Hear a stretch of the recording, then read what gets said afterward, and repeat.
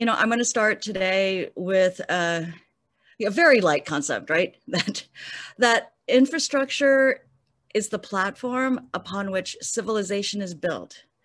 And what and where and who we invest in says everything about what we value.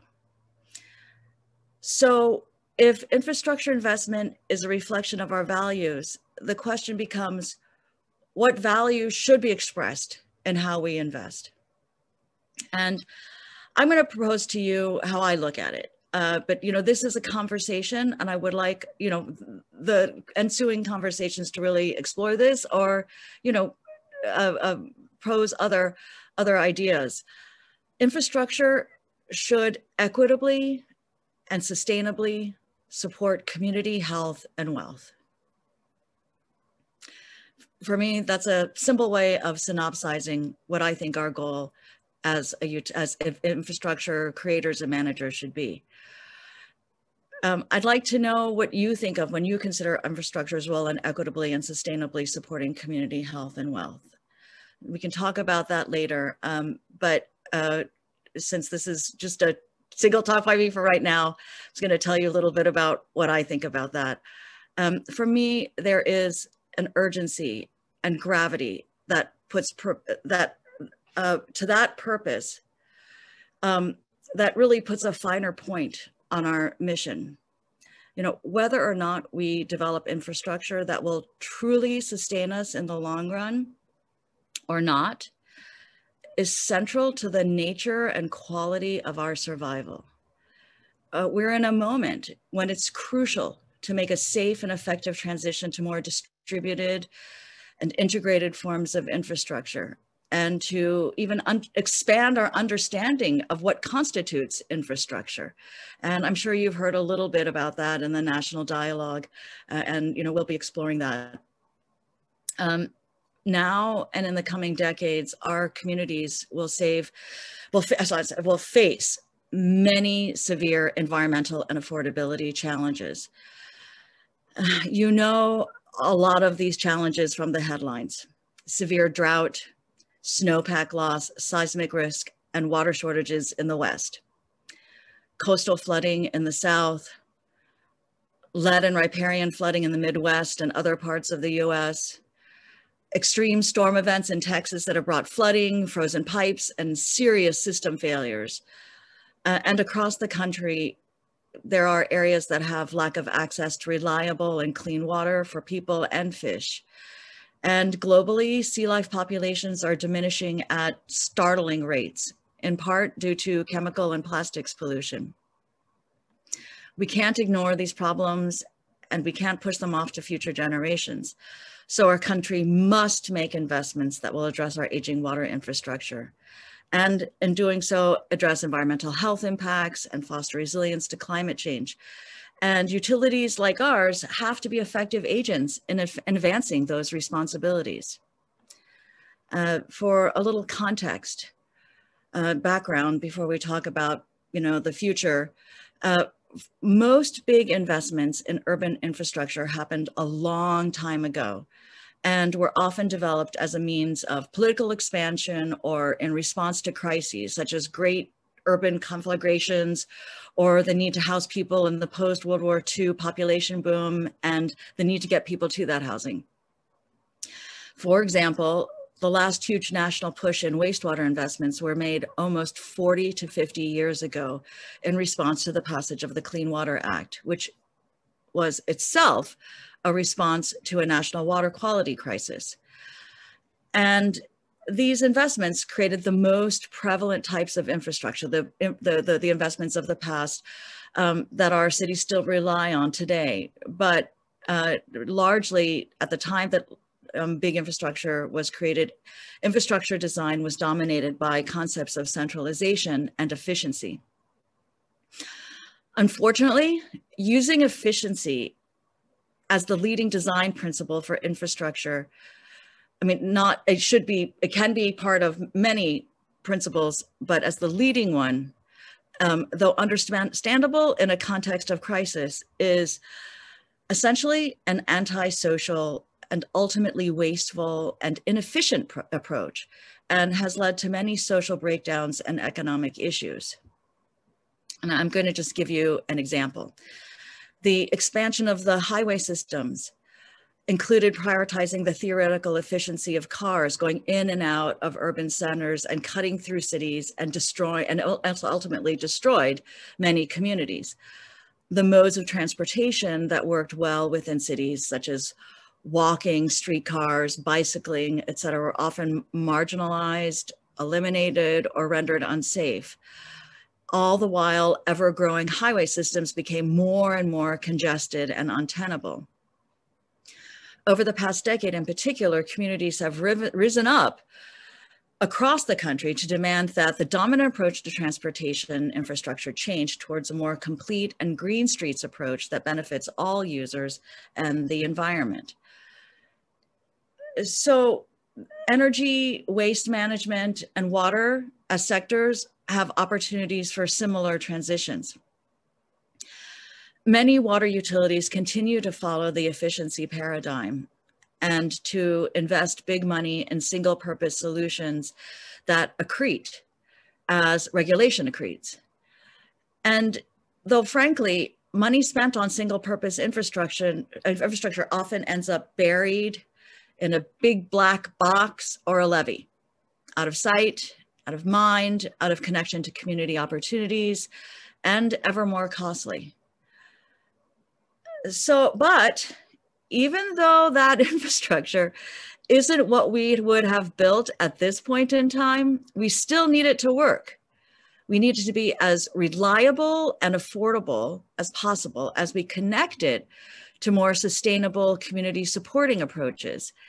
And that means that we'll need to do something really miraculous. We'll need to double the impact of our investments. We will need to make investments, we'll need to spend money, but we also need to figure out how to make the most of every dollar that we spend. We need to do that to sustain the old and the new and to get us safely to a sustainable retooled future. Uh, you know, and this is in response to all of the different kinds of challenges that I, I mentioned. So one water and zero waste tools such as green stormwater infrastructure, distributed wastewater treatment, renewables, renewable energy, uh, microhydro, which you may have never heard about, or gasified biochar, which you also may have never heard of, um, floodplain and ecosystem restoration and extended producer responsibility signal the beginning of the transition to an integrated way of thinking, away from centralization and efficiency as dominant principles in infrastructure development. We at Seattle Public Utilities and, and other uh, uh, utilities are realizing the huge opportunities to create more social and environmental value for each infrastructure related dollar that is spent. Um, and I'll just give you an example of some of our work. Um, our own constructed green stormwater infrastructure is managing pollutants from 400 million gallons of stormwater annually. Our green stormwater infrastructure system is a decentralized network of bioswales, ponds, creeks, rainwater cisterns, street trees, and other plants that improve mental and physical health, the quality and even quantity of life, uh, volunteerism, community cohesion, habitat, and even place. And those 400 million gallons of management by constructed green stormwater infrastructure don't even account for the vast ecosystem services provided by our existing infrastructure. And this is where we start to think about what is infrastructure differently. Our vast existing infrastructures of fields, forests, lakes, streams, and the sound. Um, you know, it's, it's the, you know, to me, this is all infrastructure. Uh, even realizing activities or costs that were previously abhorred, like maintenance, can be acceptable within a holistic decision-making model. Maintaining green and living systems is not the worst thing in the world because the benefits are worth it, such as improved air and water quality and quality of life, training opportunities, and low barrier family supporting jobs. Um, I'd also like to make a pitch for something that is sometimes often ignored. Um, I'd like to make a pitch that the reduction of pollutants in industry should be a key component of nature-based or at least nature-honoring approaches. Water managers and waste managers have long understood that they are responsible or made responsible for the negative externalities, which are the environmental impacts and costs that accrue downstream of polluting production and consumption, and that ratepayers and communities, not industry, pay for these costs.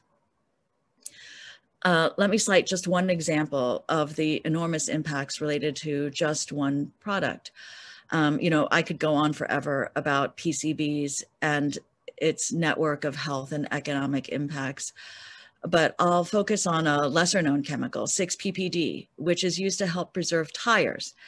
As tires wear down and 6-PPD runs off roads with stormwater, it enters waterways and kills off salmon, like really effectively, which in turn deprives people and larger species which have cohabited and thrived off the salmon for millennia sufficiently reducing 6-PPD in water bodies through post-exposure environmental management measures alone would be vastly expensive, if not impossible. And yet, until there's a ban on 6-PPD, infrastructure managers have to strive for feasible management approaches at great cost and contention. So, uh, you know, I feel like we are really in this around producer responsibility if we're going to be responsible water managers. Uh, I'll give you another example of the importance of nature-based and nature-honoring approaches, and this is kind of a writ large issue, is the need to expand what we consider to be infrastructure. And it's the, uh, you know, it, it, it's, it's the need, it's the issue of flooding. Um, we're seeing floods at a staggering scale frequency, and cost. And while there is no one approach that fits all situations, few levees can rival the multi-benefit flood-absorbing performance of wetlands or the dynamic protections provided by dunes. And like the producer responsibility issue around 6PPD, production and consumption activities that in turn produce carbon emissions drive climate impacts like flooding. So in this brief illustration, nature-based solutions like wetlands and nature-honoring approaches like emissions reductions or renewable energy can work in concert for higher performance and lower cost. Our work is part of an interconnected web of decisions that we all make. Um, so we'll have to work together with a wide range of folks uh, an extensive number and range of folks to figure out how to get there as extensively as we can. Um, the, because you know part of it is that the management of water is intimately tied to our ways of life. When our practices change, so does our way of life. Even where and how we live. When you know, just think with a with a growing scarcity of water, where people live changes. Um, so integrating one water investments with our existing infrastructures and trans transitioning to one water and zero waste approaches, which I realize now that I have not defined for you, but that we can we can get to later. Um, approaches that are often more inclusive, more distributed, more community-based and community serving, more intelligent, and more visible has a dynamic relationship with people's needs and expectations. And this is an important issue.